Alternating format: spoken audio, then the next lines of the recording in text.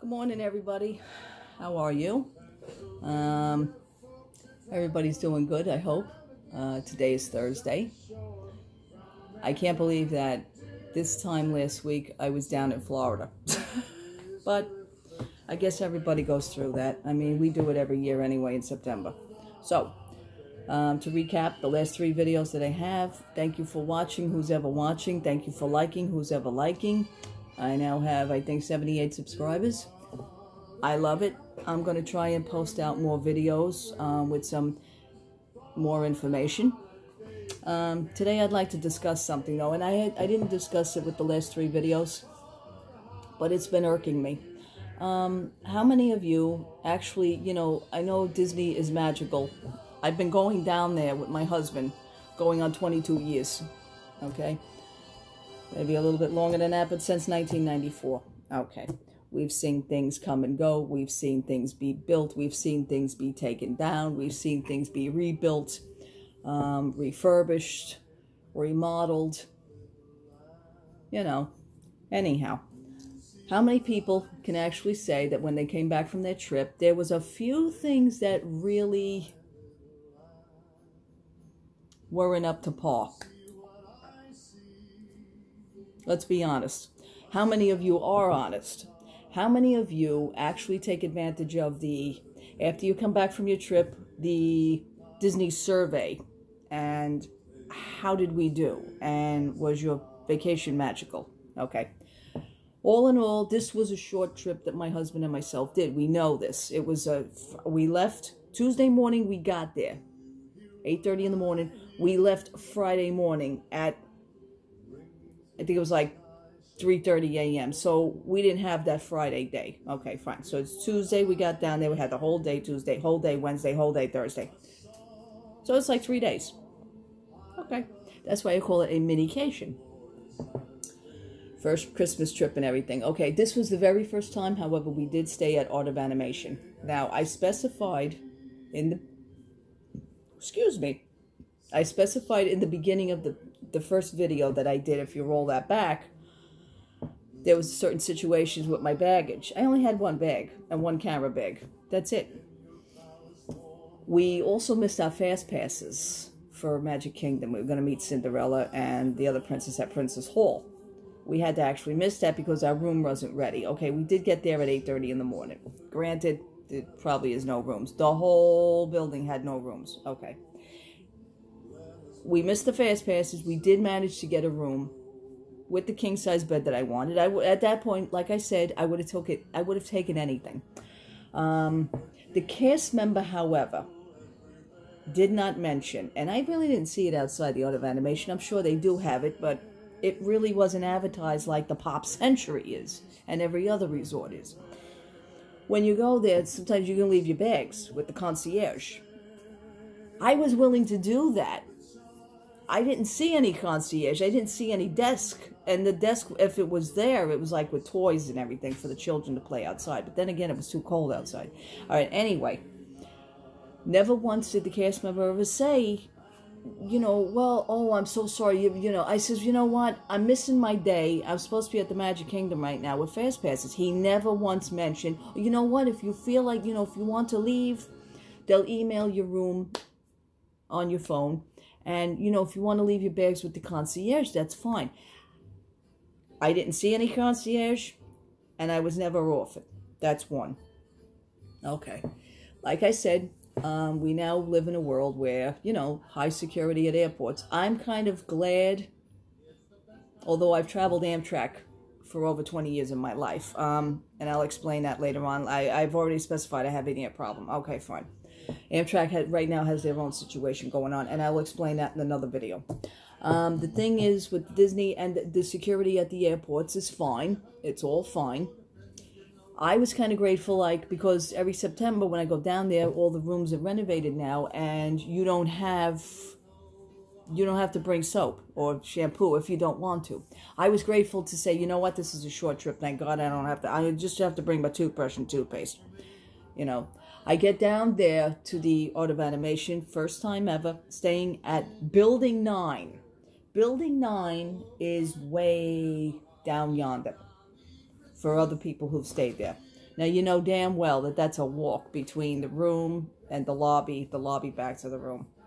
Had numerous problems with this. The thing was, I get there, good. I don't even unpack because it's a three day thing. I live out of the suitcase. I go into the, you know, into the bathroom. I go into the shower, pull back the shower curtain, which, by the way, the room is very outdated. It's the original room. Same carpeting, same decor on the walls. None of it's renovated. So it's not like the new renovations at Pop Century or, you know, the All-Star resorts have just been renovated also. I've stayed there as well. Um, I pull back the shower curtain. There's no shower dispenser. There's no soap dispenser. There's no shampoo, conditioner, body wash. Oh my God. I didn't even bring a bar of soap. What they did leave you was two bars, you know, of the original soaps. They give you that facial soap and the bath soap. I got news for you. That's the same friggin' soap, both of them. So one says face, one says it, it doesn't matter. It's still the same soap. And they gave me one tube of the shampoo and one tube of the conditioner. Okay, we worked with what we had. All right. Uh, I was a little disappointed with that. Not just to mention that the room was way down yonder my husband, uh, we got back from the park one night, for instance. My husband refused to let me go back out because I wanted a cup of coffee. There ain't no coffee makers in that room either. Um, you know, these things are the little things that seem like to be like such the necessities now. I enjoy them. I, i be honest with you. I'd be honest with you. I wasn't crazy about the soap dispenser when I first seen it, if, you know, two years back. I like it now because this way I don't have to drag so many things with me in my in my luggage through security. You know, the liquids nowadays, it's, you know, it's a pain in the butt. And my husband says, no, you, you know, I'm not, you know, it's dark out. By that time it was like 10 30, 11 o'clock at night. My husband says, I'm not letting you walk all the way to the to the lobby and then all the way back. It's, you know, I can understand his point on that. That's a caring, that's a caring person right there. Thank goodness. So when Disney I got home. My husband and I were discussing this, and we get home, and here comes the survey. You know, how did we do? I'm not going to be nasty. I actually was honest, and I wrote out what was wrong. Within an hour from the team, the general manager of Art of Animation calls me. I, I see the phone call. First of all, I see the phone call. Says Pop Century. I'm I'm go I go to Pop Century every year. I go I'm going again in September, but I see Pop Century. I figured maybe something's wrong with my reservation in September, so I answer it. We had a lovely conversation. Make a long story short, laid it all out on the line, and um, you know they they try to make it right and he, he, he will make it right. We had a, like I said, we had a lovely conversation. And uh, for September, you know, we, yeah, I'm, I would like to be there. You know, if you could just let me know in September when your trip is, I would like to make it magical for you. You know, well, I'll do something special. And I, that was, that was good enough, you know, and that, and they cared, you know, so that was pretty cool that they actually listened. This video is running eight minutes, so I'm going to try and make this a little bit easier. Um, second order of business, PhotoPass pictures. I buy the memory maker. It's only three days. I have over 150 some odd pictures. They all came out great. It was a nice memory to have. We never did Christmas before. Um, I go, I'm wondering why on my phone I go to activate the pictures. They're activated. They're open. The watermark is now gone. The photo pass walk. Uh, okay, fine. There's no edit button. I'm looking at that and I'm saying, gee, that's weird. Maybe there's something wrong. Maybe there's a glitch. Okay, I'll try later. We get home and I go on my computer. My husband's computer is an Apple. I have a Windows. I'm a Windows person. He's an Apple person. I can't stand Apple. I don't like iPhones. Never owned one. Don't care to own one. I am an Android, Samsung, Windows person. Google all the way. Okay. Now that I got that out, go on the computer. The pictures are now activated. There's still no edit button. There's a save button. I'm sorry, there's a download button, a share button, and a delete button. That's the only three buttons. Okay. I go to call them. Your call time is very valuable to us. um, we will answer your call within 30 minutes. I could have ordered a Domino's pizza. The damn pizza would have been at the house faster. Okay, fine. Okay, 27 minutes, 28 minutes, 29 minutes, 31 minutes. Somebody's on the phone. I'm on the computer. I says, listen, I can't download. Number one, I couldn't download my pictures. It kept giving me that Wreck-It Ralph thing. Okay, fine. She straightened that out with me because we had our pop-up blocker um, on. Okay, fine. I mean, security is all the rage nowadays. Fine, that's fine. She got that straightened out. Now, here's the answer for the reason why you can't edit any of your photos. Now, editing for anybody who doesn't have photo uh, photo pass or memory maker, you know, you, you take your pictures, you bought your pictures already. You want to edit them with special things. Put the little Mickey Mouses, the little year. You know, they give you um, they give you tools to use to edit your pictures, you know, if you want to print them out, whatever. There is no edit button. So the woman explained to me, get ready for this. You can only edit pictures. When they updated, they updated for iPhones. I says, excuse me, back up. I don't have an iPhone. I have an Android. She says, uh-oh. Do you know anybody with an iPhone? I said, my husband has an iPhone. She says, okay, sign on to your account from his phone. Now, he wasn't activated. I was the only photo pass holder, even though he can scan his magic band at the parks and, and get the pictures. He can't activate them from his phone app. But yet, I sign on to my account from his phone, on his phone, there's the edit button. I says, what the hell is this? She says, no, we only do it for Apple iPhone. I says, well, here's the thing. I have an Apple iMac computer. She says, no, it's not even for the computer. It's just for iPhone. What the f... You gotta be kidding me. Come on, Disney. Stop it. Stop it. This is ridiculous. I don't... Oh, not everybody... And I explained, I went off. I said, not everybody in the country owns a an iPhone. This is ridiculous. This is discriminating to people who own an Android. I'm not running out buying a damn iPhone just for your just for your convenience to make your lives easier. And I says, and while we're at it, I can't even buy a phone case from you people because it's all it's all for iPhone. Otterbox, who I happen to love, Otterbox only sells for iPhones, the Disney cases. This is like so discriminating. So of course this morning I went on the feedbacks for PhotoPass. So I hit them with that one. It's absolutely an outrage. It, who else, you know, I mean, for all you iPhone, yeah, well, yeah, wonderful. Whoop-de-doo. You get to do a lot more shit with your phone. Us Android people are still sitting there sucking wind. It's ridiculous. I'm very upset over it. I really am. Okay, now, whoever has an iPhone, whoever has it, if you didn't know that, you're going to know it. I mean, it's not, you know, it's not rocket science. But don't don't sit there and tell me that you have. Oh, I have an Android. I have an I have an app. Uh, uh, my my phone works. It doesn't work. It's impossible. She just told me. Okay, it's only for for iPhone that can edit the pictures from from an from an iPhone app on the phone. You can't even do it on the computer. You spend a hundred. Uh, well, I spend one hundred sixty nine dollars because I prepay for mine. I don't do the hundred ninety nine. Forget it. I would have went off the rails if I had to pay full price $199 and, and not be able to do what I want to do with it from my own phone. It's sad. Okay. Whoever has a Primark store, they have some nice things at Primark.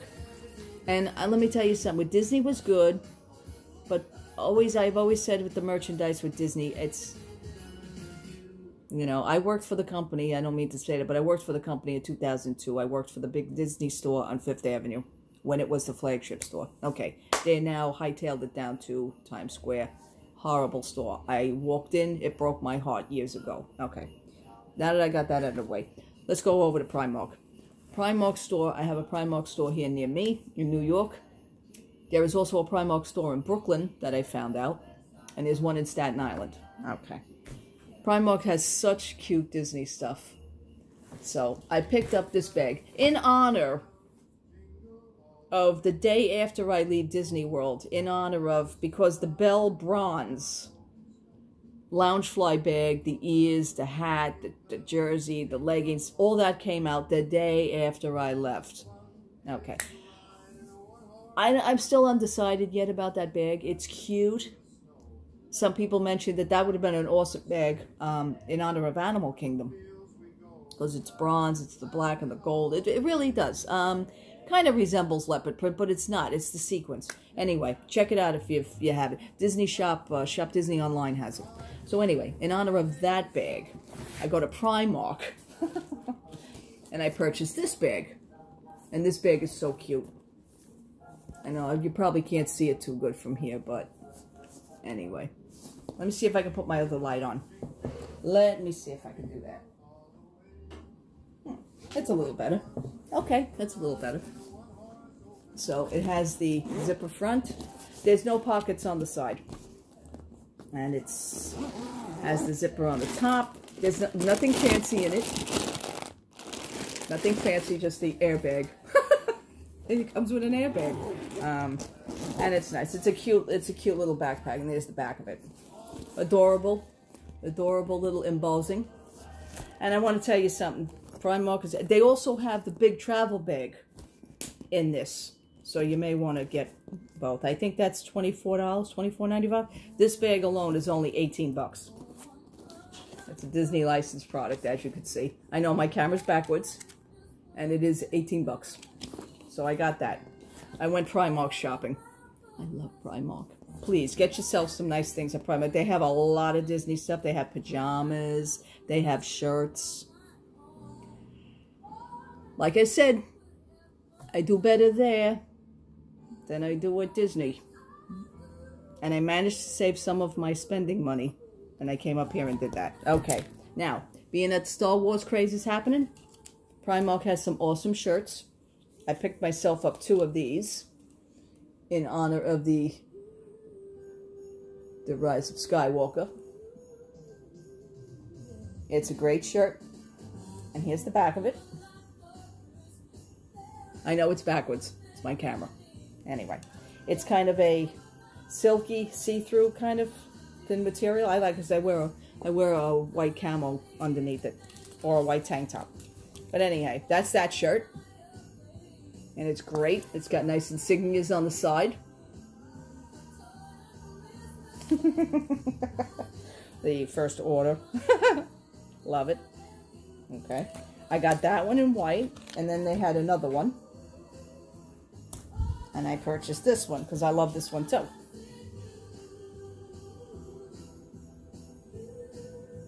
That's the whole shirt. and that's just the back of it here. It's see-through also. So, again, they're all licensed products, obviously.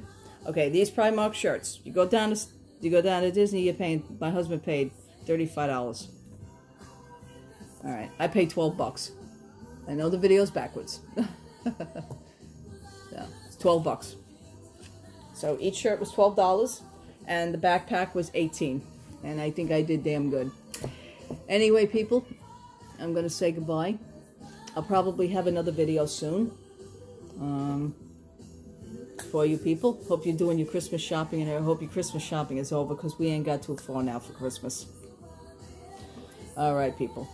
Just wanted to clear that up and get out those reviews and, you know, let me know what you think. Have you ever had situations where you actually had to write the company and say, hey, you know, I'm not happy. I'm not happy. I'm just I'm just not happy. Especially that iPhone thing. It's like mm-hmm. you got to be kidding me. Okay. Love to all. Happy Thursday. Have a great day. Hope to hear from you. Bye-bye.